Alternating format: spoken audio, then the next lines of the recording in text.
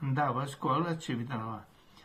Faccio, mi, mi fermo per alcuni minuti, mm, no, forse pochissimi minuti, due o tre minuti, e ripiglio la strada, faccio circa 80-90 metri, quando improvvisamente dalla mia destra vedo un aereo che si precipita a 80-100 metri avanti a me.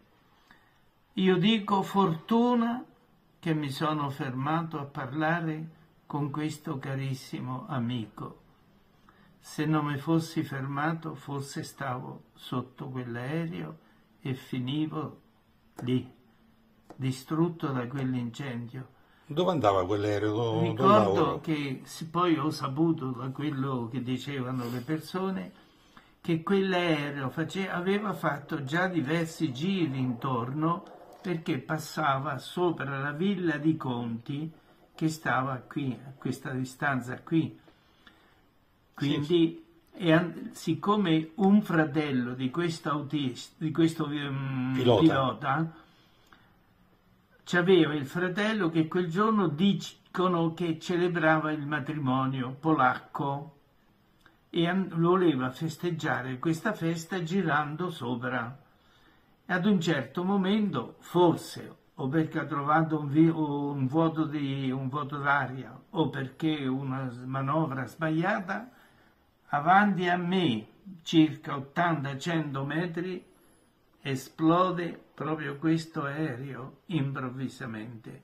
Io scappo via naturalmente e torno a casa mezzo sbalordito Senti, ma la, la Villa dei Conti c'erano i, i, i comandi? C'era, eh, c'era un, una centrale delle, dell'esercito polacco con dei comandanti, perché lì avevano fatto un centro e siccome lì c'era anche la cappellina, i polacchi sono molto religiosi, ci andavano alla messa e quel giorno si celebrava il matrimonio di un fratello e, i, della, del mi diceva prima, parlando così di questa eh. avventura, di questo che è capitato, che anche a casa tua ci sono stati dei militari.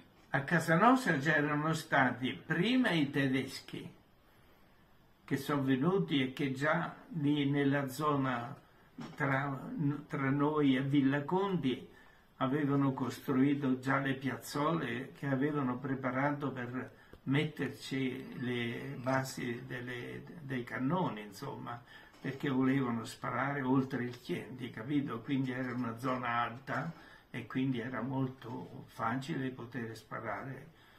Quindi stavano ospiti a casa tua? Stavano ospitati, no, no, no, quelli non ospitavano a casa nostra. Dove stavano? Quelli stavano per conto loro. Ah, per conto loro? Stavano, non lo so.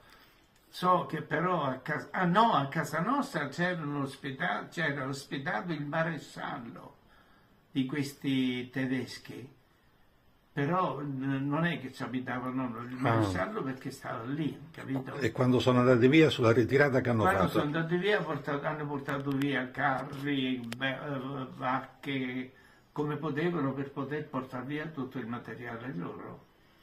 A noi ci ha salvato per esempio un maresciallo tedesco sì. che stando lì a casa nostra parecchie volte ci ha difeso da altri tedeschi che venivano, specialmente di colore, che volevano prendere roba e a volte forse... Tu parli di soldati tedeschi di colore. Eh. Erano di colore perché... Dico perché venivano con l'Africa, dall'Africa che erano, facevano parte dell'esercito tedesco